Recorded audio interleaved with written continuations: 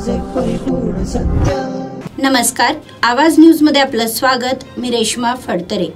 शाळेकडून होणारा मनस्ताप सहन होत नसल्याने पुण्यातील शैलेश शिंदे या पालकाने गृहमंत्रालयाला थेट मेल पाठवून मंत्रालय बॉम्बने उडवण्याची धमकी दिली आहे व या धमकीने सर्वत्र खळबळ उडाली आहे. शैलेश शिंदे यांना मुंबई पोलिसांनी बीटी कवडे रोडवरील त्यांच्या राहत्या घरातून अटक केली आहे.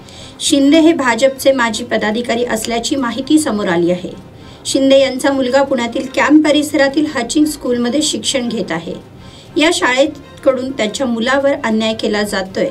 फी संदर्भात त्यांना त्रास दिला जातोय अशी तक्रार त्यांनी केली होती. व या संदर्भात शिंदे यांनी शिक्षण उपसंचालकास जवळपास दीडशे लेखी तक्रारी दिल्या आहेत. मात्र त्याची कुठलीही दखल घेतली गेली नाही व याच कारणावरून काल शिंदे यांनी थेट गृह विभागालाच एक मेल पाठवून मंत्रालयामध्ये बॉम्ब ठेवल्याची माहिती दिली. या संदर्भात त्यांच्या कुटुंबियांकडून कोणतीही प्रतिक्रिया मिळू शकलेली नाही. या सबंध प्रकरणामुळे शाळा व्यवस्थापनाकडून पालकांची कशा पद्धतीने पिळवणूक केली जाते याचं चित्र समोर आलं आहे. अधिक माहिती व बातम्यांसाठी सबस्क्राईब करा आवाज न्यूज व बेल आयकॉन प्रेस करायला विसरू नका. धन्यवाद.